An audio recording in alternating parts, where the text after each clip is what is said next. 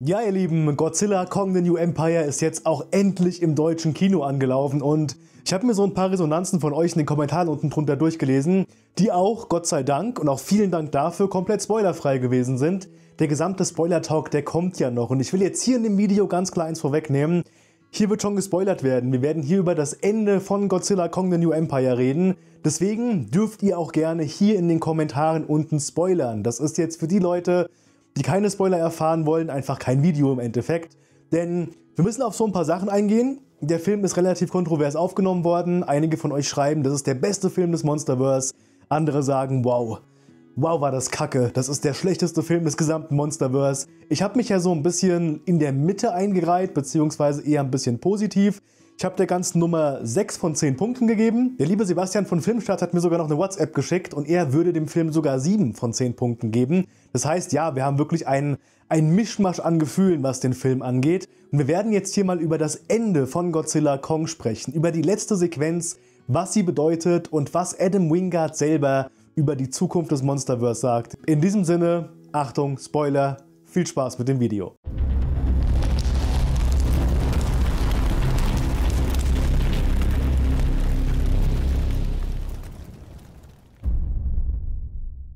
Okay, also der Film, wie gesagt, der ist relativ kontrovers aufgenommen worden. Meiner Meinung nach war das einfach alles viel zu schnell, was die Handlung anbetroffen hat.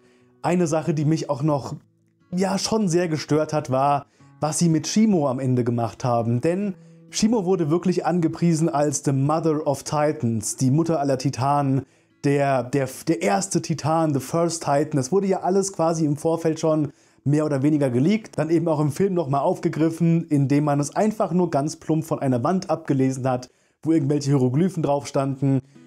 Das war keine wirklich gute Einführung der Figur Shimo. Und dazu muss man auch sagen, dadurch, dass Shimo ja eigentlich den gesamten Film lang unter Scar Kings Kontrolle gesteckt hat, hat Shimo auch nicht wirklich einen eigenen Charakter bekommen. Das heißt, auch da mussten wir auf einen Charakter eben dieser Figur jetzt hier verzichten, dass man sich aber dann zum Schluss dazu entschieden hat, Shimo, den bisher bekanntesten, ältesten Titan, den wir bisher haben, das kann sich immer noch ändern, zum Schoßhund von Kong zu machen. Da habe ich mir ganz kurz gedacht, oh, das ist, das ist eine Entscheidung, die gefällt mir jetzt überhaupt nicht. Da habe ich mir wirklich gedacht, da kann ich jetzt auch nicht irgendwas schönreden. Ich fand das eine sehr befremdliche Szene zu sehen, wie Shimo überhaupt nichts checkt. Also auch als Godzilla dann seinen Strahl nach oben in den Himmel schießt, um quasi Shimos neue Eiszeit aufzuhalten und Shimo guckt dann ganz verwirrt nach oben, als würde sie überhaupt nicht wissen, was gerade passiert. Ich meine, okay, man muss jetzt hier nicht von einem weisen Kaiju reden, aber Godzilla versteht auch wesentlich mehr, wie die Welt funktioniert, als es Shimo scheinbar macht, obwohl die eben wesentlich älter ist.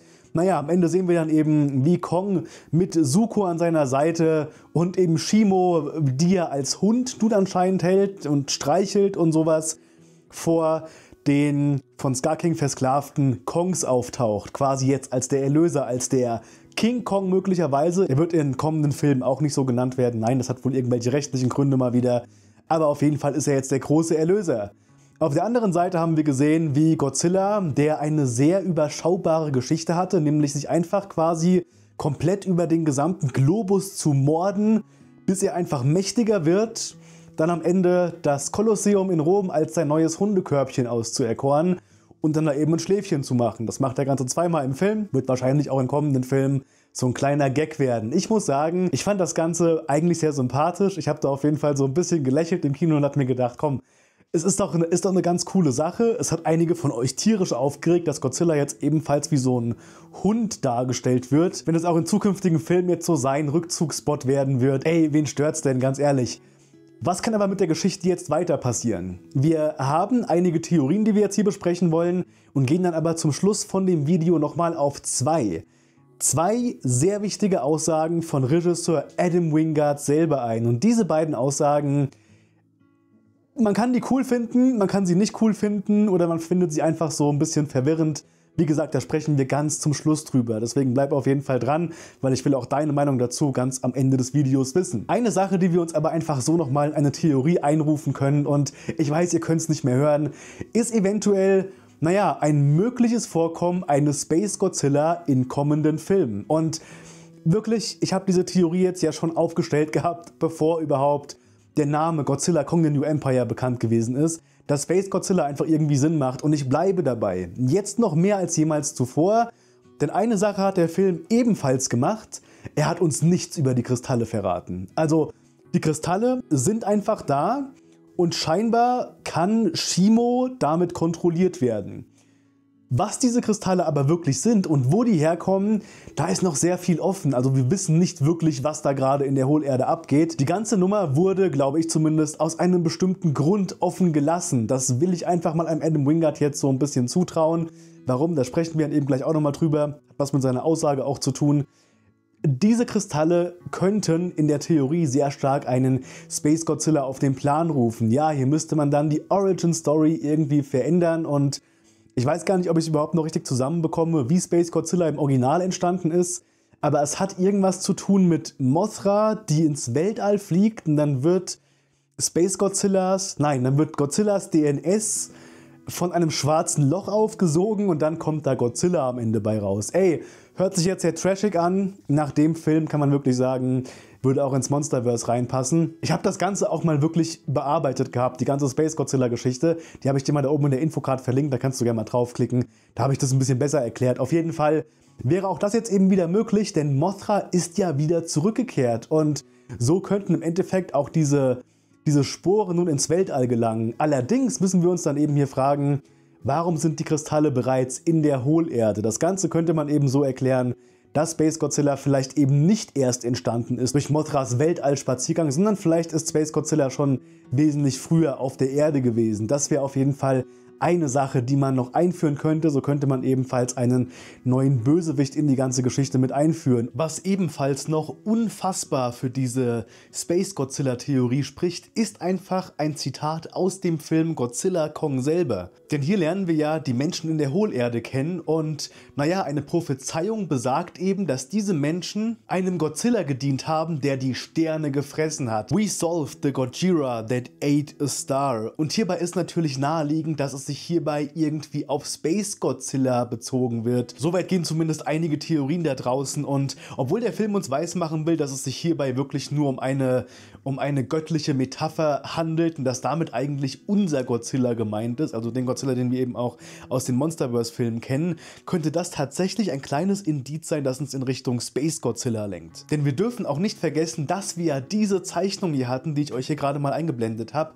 in der wir ja sehen, wie ein fliegender Godzilla von oben herunterkommt und naja, den haben wir eben so noch nicht gesehen. Denn wir dürfen eins nicht vergessen, das habe ich glaube ich in einem Video schon mal nebenbei erwähnt, dass Toho sich ebenfalls dazu geäußert hat, dass die auf gar keinen Fall gesagt haben, ey, ihr dürft die, die Turbo-Monster nicht benutzen bei Legendary. Das haben wir euch verboten. Das wurde nie gesagt. Legendary darf frei auf die Monster von Toro zugreifen. Natürlich wird dann da auch ein bisschen Geld fließen, das ist vollkommen klar. Aber der Grund, warum wir jetzt hier in Godzilla Kong The New Empire sowohl Scar King als aber auch Shimo bekommen haben, ist einfach der, dass sich Legendary und Warner dazu entschieden haben, dass sie eben auch ihre eigenen Titanen in dieses Universum mit einbringen möchten. Und da muss ich sagen, das finde ich ganz cool. Ich fand Shimo und Scar King sind schon in die richtige Richtung gegangen. Ich hätte jetzt Scar King nicht unbedingt töten müssen in dem Film. Das fand ich ein bisschen lame, dass der nicht irgendwie aufgebaut wurde, vielleicht für irgendetwas weiteres. Und da kommen wir jetzt auch zu einem Punkt, warum es hier sehr viele Spekulationen jetzt geben wird.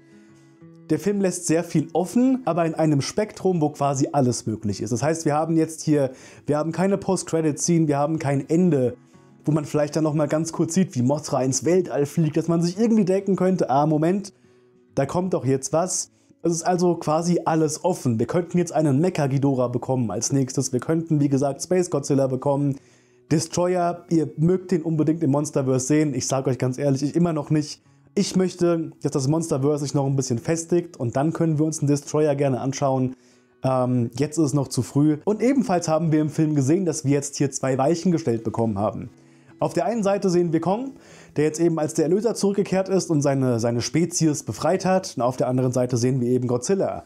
Das sind jetzt hier zwei Weichen, die ganz klar auf eine Sache hindeuten, nämlich dass die Geschichte von Kong scheinbar mehr in den Fokus gerückt werden soll als aktuell. Und das ist tatsächlich eine der beiden Aussagen von Adam Wingard selber, denn der meinte vor gar nicht allzu langer Zeit, dass er ein Interesse daran hätte in einer Trilogie. Also er möchte unbedingt drei Filme machen, davon haben wir jetzt ja schon zwei gesehen.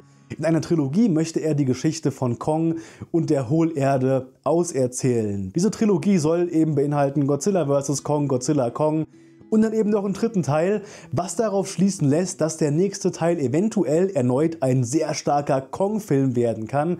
Denn auch Godzilla Kong ist ja eigentlich Godzilla macht eigentlich nicht wirklich viel. Der darf einfach in dem Film mit dabei sein, damit die Godzilla-Fans auch in den Film reinrennen. Deswegen ist Godzilla mit dabei.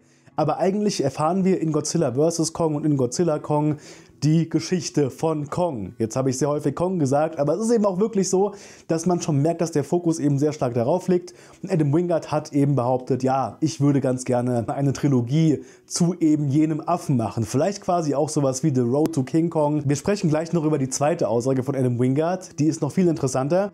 Lass uns aber erstmal ganz kurz überlegen, was denn so ein kommender Film noch beleuchten könnte. Wir sehen ja ganz zum Schluss vom Film, wie Kong und Shimo und Suko auf so einem Berg erscheinen. Und ja, eine Sache, die man dem Film irgendwie zugute halten kann, nicht unbedingt muss, ist, dass Shimo auf gar keinen Fall so krass ist, wie sie uns versprochen wurde. Ich habe bei Shimo wirklich das Gefühl gehabt, dass ihre Fähigkeiten, je nachdem wie der Film es gerade gebraucht hat, mal stärker und eben mal schwächer gewesen sind.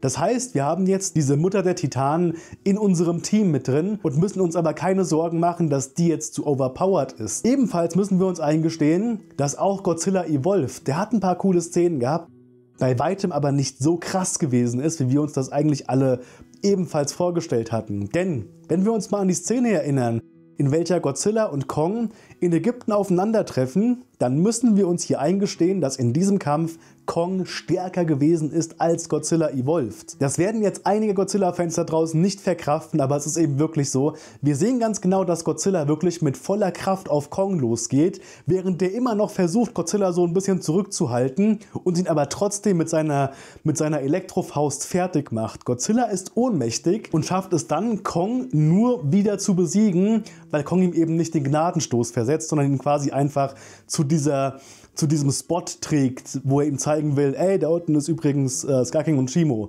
Deswegen schafft es ja dann auch Godzilla, wenn er wieder aufgewacht ist, dann den Kampf doch noch für sich zu entscheiden. Was ich damit sagen will, ist, wir haben jetzt hier doch wieder ein relativ gutes Gleichgewicht an Kräften und die funktionieren irgendwie. Ich fand auch einen Scar der zwar jeden Kampf im Film verloren hat, fand ich dann doch relativ imposant von seiner Fähigkeit her. Wir könnten also in einem nächsten Film sehen, wie sowohl Kong als aber auch Shimo die Hohlerde weiter erforschen. Dabei könnten wir jetzt in einer Fortsetzung zu dem Ganzen mehr auf die Hintergrundgeschichte von Shimo eingehen und dann da die Brücke zur Godzilla-Thematik schlagen. Der letzte Teil könnte uns nun wirklich endlich einmal komplett zeigen, nicht nur erklären, bitte, nicht jetzt wie in dem Film, auch mal zeigen, was früher wirklich passiert ist. Wir könnten nun, wenn die Hohlerde-Geschichte nun auch wirklich zu Ende erzählt werden soll, das auch wirklich komplett ausschmücken. Wir könnten die gesamte Mythologie von Godzilla im Hintergrund weiterhin erfahren. Wir könnten die gesamte Geschichte der Kongs erfahren, vom Ursprung bis zum Ende und eben auch Shimos Geschichte. Wenn sie die Mutter aller Titanen ist, gab es auch einen Vater aller Titanen. Was sind diese gewaltigen Skelette, die wir dann in der Hohlerde sehen? Teil 3 dieser Trilogie von Adam Wingard könnte uns also wirklich endlich mal alle Fragen beantworten und sich nun auch wirklich einmal fokussiert damit beschäftigen, in die Vergangenheit zu switchen, dass wir nun eben auch einfach alle verstehen, was damals wirklich komplett passiert ist. Auf der anderen Seite haben wir dann Adam Wingards zweite Aussage, denn der hat mitbekommen, dass die Leute ein bisschen angefressen gewesen sind, dass Godzilla einfach wieder mal genau wie in Godzilla vs. Kong, obwohl ich fand es hier noch ein bisschen schlimmer, so eine Nebenrolle bekommen hat. Und ich muss wirklich sagen, ja, ich hätte, ich mag Godzilla mehr als Kong. Jetzt hier bitte nicht falsch verstehen, aber ich hätte Godzilla in diesem Film nicht gebraucht. Das ist, der ist einfach nur dafür da, damit er eine neue Verwandlung macht und dann am Ende dazukommt zu diesem Kampf. Wir hätten das auch anders lösen können. Also Godzilla ist echt nur mit dabei, damit Godzilla-Fans sagen, ah, schaue ich mir auf jeden Fall an. Adam Wingard hat wie gesagt genau diese Kritik eben mitbekommen und sich danach so ein bisschen anders zu dem geäußert, im Vergleich zu dem, was er eben davor gesagt hat. Nämlich erklärt er jetzt vor kurzem auf einmal, er hätte doch ein riesiges Interesse daran, einen Fokus mehr auf Godzilla zu legen und zwar so in der Form, wie er es jetzt auch in Godzilla Kong bei Kong gemacht hat. Das mag jetzt alle Godzilla-Fans da draußen freuen, was auch immer das jetzt bedeuten soll also die Hintergrundgeschichte von Kong und Godzilla hängen, finde ich zumindest, ja so krass miteinander zusammen, dass man das gar nicht so splitten muss. Man muss das Ganze vielleicht einfach ein bisschen mit einem etwas roteren Faden erklären als jetzt hier im aktuellen Film.